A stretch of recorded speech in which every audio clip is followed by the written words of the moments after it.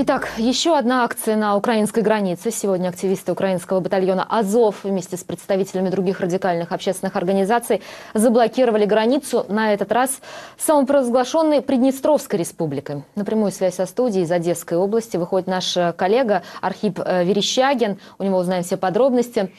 Архип, э, здравствуй. Что известно о происходящем сейчас? Здравствуйте, Мария. Ну, прямо сейчас более сотни представителей молодежного Азова, Автомайдана и других э, парамилитарных организаций заблокировали дорогу перед пропускным пунктом Украина-Приднестровье в Кучурганах.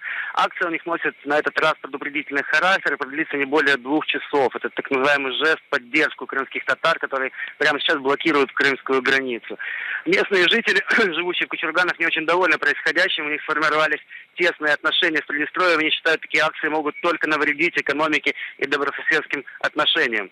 За все время акции границы не пересек ни один грузовик. Сейчас все они идут через соседний пункт э, пропуска в Паланке. Проехать пока могут только легковые автомобили. Мария?